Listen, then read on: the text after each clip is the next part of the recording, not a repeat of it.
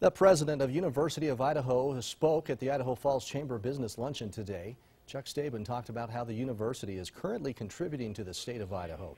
He says the university is giving away more scholarships right now, also increasing online education and changing the way it does business. My biggest priority is actually to grow undergraduate enrollment.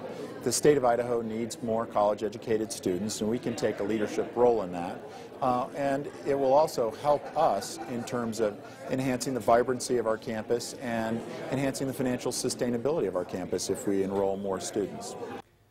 Staben has been president for the last seven months. He previously worked at the University of Kentucky.